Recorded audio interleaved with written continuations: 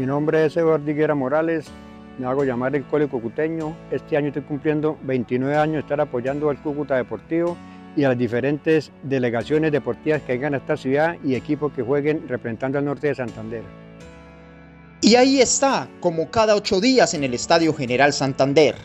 El cole cucuteño de 59 años de edad y que en el próximo año completa tres décadas. Sí, escucharon bien, tres décadas alentando sin parar al deporte en su amada ciudad de Cúcuta.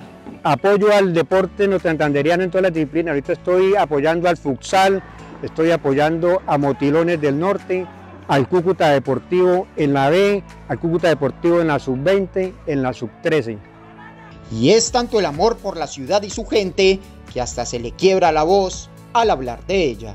Uh, para mí Cúcuta, yo, yo nací aquí hace 59 años y desde que tengo uso de razón, desde el 80 que venía a fútbol con esos equipazos, desde ahí le agarré mucho amor al deporte. Ahora, en los Juegos Intercolegiados, Eduardo, nombre de pila del cole, viene apoyando a los distintos equipos del departamento desde las fases previas a la regional.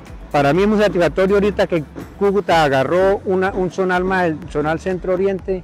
Me da mucha alegría que día que llegó la delegación de Bogotá fui los, fui los recibí, me recibieron con alegría y, y traigo sus fotos ahí que me dan satisfacción que estos van a ser nuestros futuros deportistas a nivel mundial. Ahorita lo, están haciendo con su colegio, con su departamento, después van a un zonala a ver cuáles, cuáles son los mejores de Colombia y ahí van subiendo hasta llegar a ser profesionales.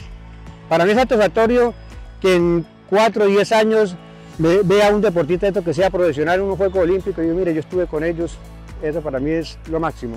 Finalmente, este apasionado y experimentado hombre agradeció el apoyo del Ministerio del Deporte por fomentar el deporte escolar en Colombia.